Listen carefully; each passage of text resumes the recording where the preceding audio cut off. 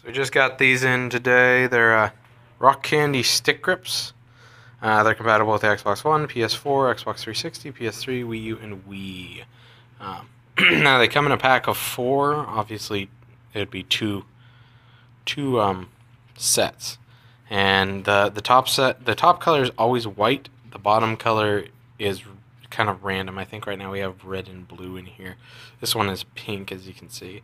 Um, they go for six dollars and they, they just fit over the top of the analog sticks on the controller. So, so we're going to kind of just uh, test them out here. Uh, obviously, they're they're not concave; they're more like convex here, uh, so you can get a grip on them. So, so let's go ahead and get this thing opened, and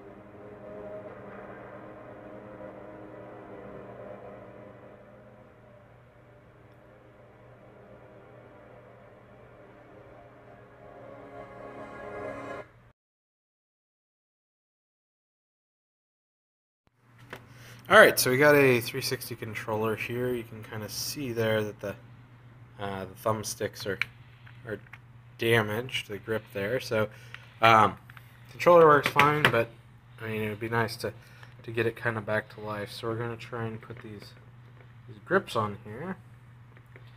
And there are ones that looks like they go around. I'm going to grab onto those sides there. So let's go ahead.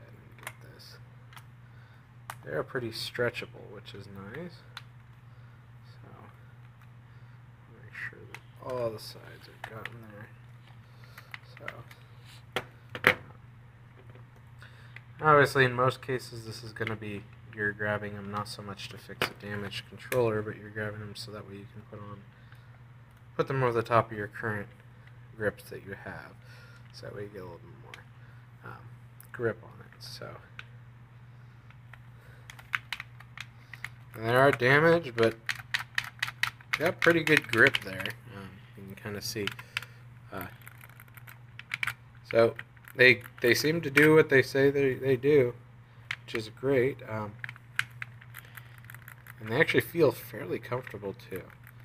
Um, really nice feeling, uh, especially that feels like a uh, is it is I think it was the GameCube controller had this kind of circular like pattern for grip.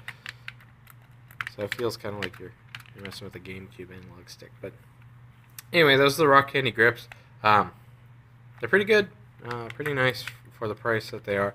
And they, the only thing kind of as you saw in the, the unboxing video, because the way they, they designed the packaging is a little bit of pain to get to them initially. So definitely have a pair of scissors handy. Um, but yeah, I I definitely recommend them.